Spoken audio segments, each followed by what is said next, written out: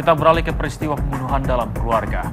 Pasca penangkapan Wahudin, seorang anak yang membunuh ayah kandungnya sendiri di Tegal, Jawa Tengah, polisi terus melakukan penyidikan yang menggemparkan warga ini.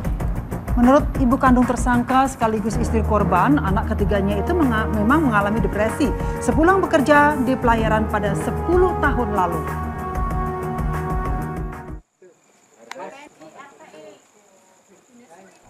Selasa malam kemarin, warga desa Kendayakan, Kecamatan Warurejo, Kabupaten Tegal, Jawa Tengah, dikemparkan dengan peristiwa pembunuhan yang menimpa seorang warga bernama Rahadi.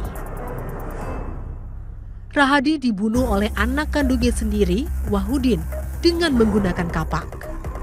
Usai dibunuh, jasad Rahadi dibuang tersangka ke dalam tangki septik atau septic tank di samping rumahnya. Tersangka yang kabur akhirnya ditangkap oleh polisi yang dibantu warga.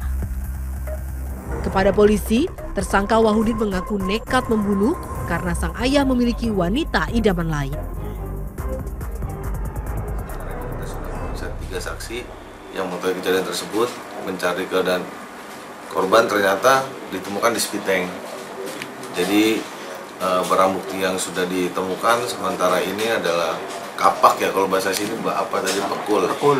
Pekul itu dibuang di makam nih, makam di sekitar wilayah tempat kejadian perkara, kemudian tikar yang digunakan pelaku untuk membungkus korban, kemudian ada ada juga sarung.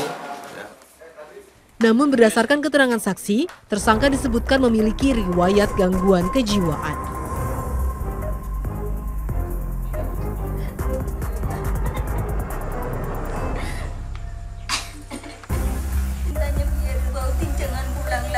Kesedihan mendalam masih dirasakan oleh Sariah, istri almarhum Rahadi, sekaligus ibu kandung tersangka Wahudin pada Rabu siang.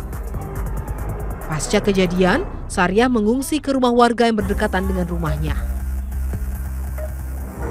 Perihal tersangka yang memiliki riwayat gangguan kejiwaan, ternyata dibenarkan ibu kandung tersangka Sariah.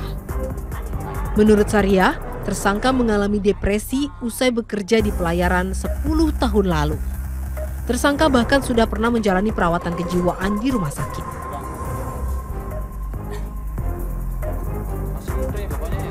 Di rumah sakit siaga udah empat kali mas. Angger niku Terus dinyatakan sembuh nggak?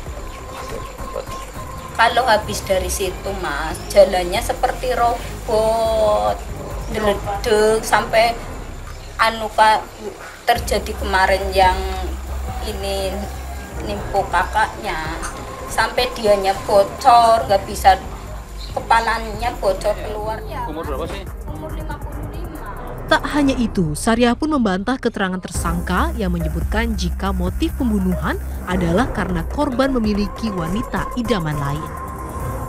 Meski telah mendapatkan sejumlah keterangan terkait kondisi kejiwaan tersangka, polisi tetap harus menunggu hasil resmi pemeriksaan dari rumah sakit. Dari Tegal, Jawa Tengah, Haikal untuk CSI RTV.